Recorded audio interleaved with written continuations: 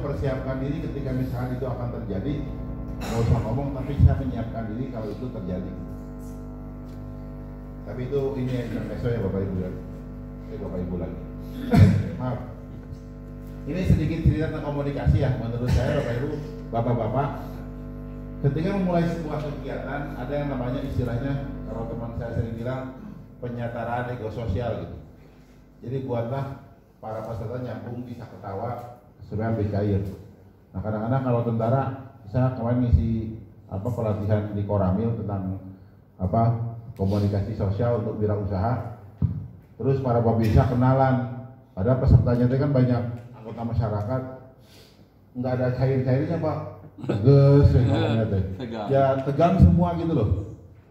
Ya itu mungkin harus dilatih yang namanya penyetaraan ego sosial. Harusnya ngelawak dulu atau apa dulu gitu kan. Kemudian tentaranya dari Kopassus sebelumnya deh sebelum jadi Babinsa.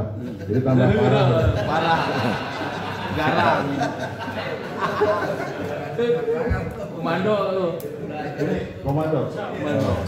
kan Garang. kacau kalau di depan masyarakat galak terus waduh. tapi kalau kalau yang dari infanteri biasa cenderung cair gitu ya. Cenderung cair Bapak tapi jadi babinsa atau apa? Enggak kan? Enggak, oh bisa. Ada dua berarti. Letu eh. Oh iya, maaf, maaf. Tapi yang saya itu, yang saya lihat yang Kopassus itu tuh udah jadi babinsa, cuman beliau jadi danpos. Jadi soalnya pembantu letnan satu kalau nggak salah. Ya. Oke, kita ke sini sekarang. Eh, pelatihan peningkatan komunikasi impresif. Terus terang judul yang saya sampaikan nggak nyambung dengan komunikasi, tapi Bap- Bapak lihat saya komunikasinya seperti apa. Gitu ya. Keren. Bagus ya. Keren, keren. Saya terus terang, eh, alhamdulillah Allah teh menganugerahkan saya teh saya punya komunikasi di tentara teh dari mulai yang pangkatnya kopral sampai jenderal. Yang tidak. Apa? Yang pakar-pakar belum. Pokoknya mah yang bawah lah Pak, saya komunikasi sampai jenderal. Jenderal itu jenderal Dudung lagi. Jadi waktu beliau jadi Aster, saya kan punya program yang matematika bela negara itu jadi udah udah ngobrol. Dan saya merasakan ternyata kalau komunikasi gini Pak, eh, pertama kita harus bisa menyetarakan ego sosial. Yang kedua jangan sombong Pak. Jadi jangan sombong teh gini, punten ya, maaf. Saya kan juga sering gaul dengan tentara teh. Ada yang pangkat rada jenderal teh suka sombong gitu Pak. Iya. sama Bawah. bawahan mah kurang memperhatikan gitu ada. Karena sama saya juga kurang memperhatikan pak. Dalam hati ini baru bintang satu kok udah gini amat. Padahal saya sampai bintang empat tuh ramah gitu loh. Nah yang gitu terus terang ya hari ini suka rada susah ke atas pak. Tapi yang ramah-ramah itu suka naik ke atas saya pernah satu hari pak ke Mabes Ade itu ketemu dari mulai bintang tiga itu dua kasarnya Asrena, Aster, apa gitu. Pada akhir semua ramah-ramah. Saya ngobrol sama satu dulu Asrena agamanya Katolik. Ada yang buat satu rada aneh, tapi beliau jujur banget. Pak Ridwan, saya ini dari keluarga biasa. Saya bisa jadi Asrena gara-gara saya rajin puasa. Loh kok bisa gitu? Saya juga nggak tahu Pak, ternyata faktor ibadah itu istilahnya berpengaruh. Karena saya ngajarin ilmu ini Pak, harus rajin ibadah kalau pengen masuk gitu. Dan saya rasakan tuh tadi ternyata orang-orang yang karirnya bagus ramah-ramah Pak.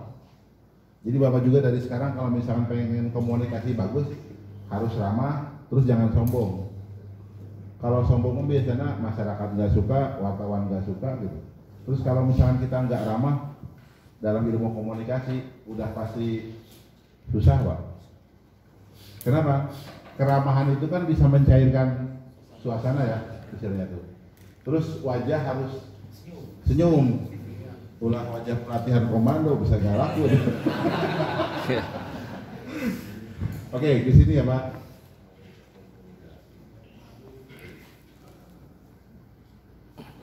Nah, manusia teh punya tiga antena Pak.